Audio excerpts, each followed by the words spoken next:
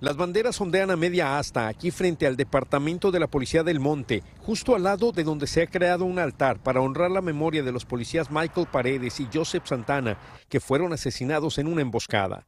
Una tragedia que ha enlutado a toda la comunidad. Es una comunidad muy chiquita y cuando algo así trágico pasa, se ve cómo se junta la comunidad. El agente David Gasca dice que conoció personalmente a Joseph Santana, quien el año pasado, después de haber trabajado por tres años en el departamento del sheriff, pasó a ser parte de la policía del monte. No, para mí es todavía un, un muchacho, un, un niño que yo tuve la oportunidad de conocer, fui uno de sus entrenadores. El oficial Michael Paredes tenía 22 años trabajando en este departamento.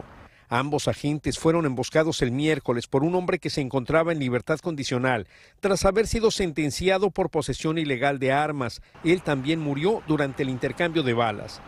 Anabel Martínez también lamenta la pérdida de sus compañeros de trabajo. Los dos hombres muy humildes, aunque este trabajo es muy difícil, siempre llegaban a su trabajo con buen humor, con alegría y para, para proteger a la comunidad.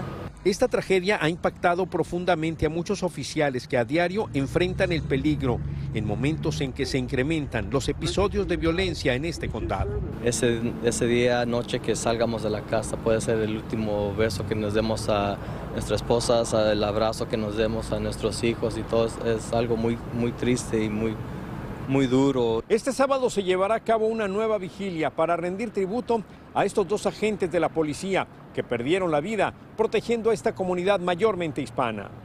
En el Monte, California, Juan Carlos González, primer impacto.